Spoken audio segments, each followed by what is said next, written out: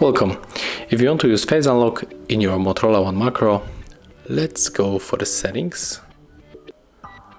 Right now we have to go for the security and location and then tap on the Face Unlock.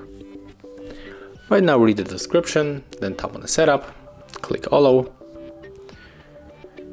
And we have to remember that the face matching is less secure than a pattern uh, and also the someone who likes who looks like us could be uh, it will be possible to unlock our phone. And uh, the last one is the data used to recognize our face is kept private on our phone. So let's go. Tap on the next. Okay right now we have to input our lock method.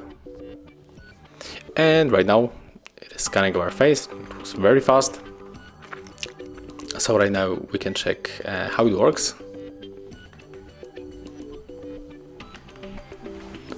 And as you can see our smartphone is working with this new lock method. Thank you guys for watching.